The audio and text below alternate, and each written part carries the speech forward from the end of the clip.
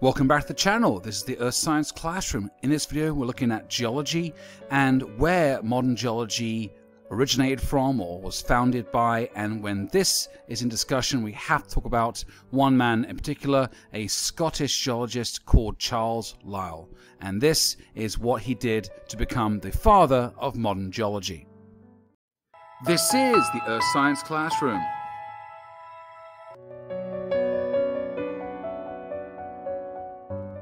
Charles Lyell was a Scottish geologist born a little bit north of Dundee in Scotland in 1797, and he was aware of both Steno's work in geology and stratigraphy, and also James Hutton, his fellow Scotsman, his work on the brand new uniformitarianism principle of geology, whereby the past is key to the present and vice versa.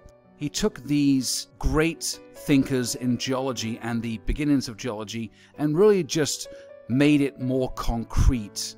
And in doing so, he looked at both the intensity of the process of uniformitarianism and the method by which processes occur on the Earth's surface, and again confirmed the Earth was much older in terms of deep time than it was previously known to be in terms of the religious ideas and the Bible teachings of it being 6,000 years old. Charles Lyell confirmed and supported James Hutton in this deep time theory of the Earth based on the rock strata, the rock processes, and of course uniformitarianism.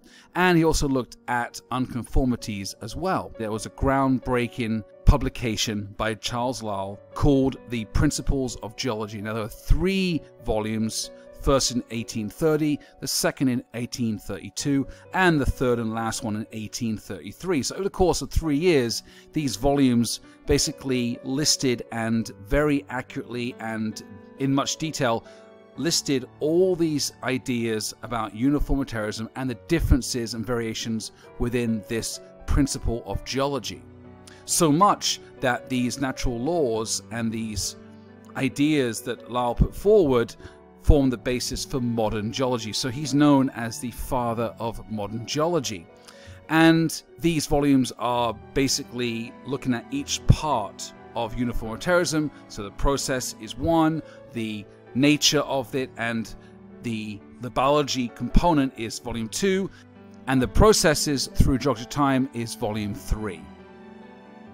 So when you combine the work of both Steno, Hutton and Lyell, you form a very comprehensive basis for modern geology and stratigraphy and how the rocks form, the processes, the rock strata, the bedding, the environments, the landforms, and we can use these principles to understand the Earth's landscapes and formations.